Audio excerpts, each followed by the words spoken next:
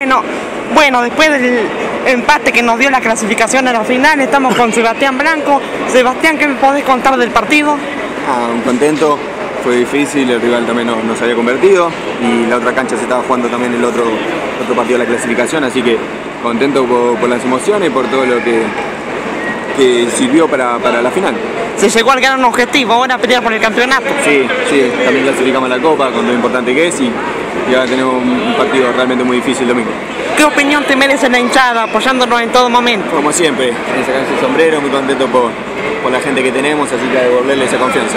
Bueno, ¿qué opinión tenés de Lanús como rival ahora? Difícil, difícil, los conozco, tengo un par de amigos ahí que han hecho una buena campaña, un gran torneo, así que va a ser un partido realmente difícil. Muchísimas gracias, Seba, y nos vemos el domingo. Nos vemos. Gracias.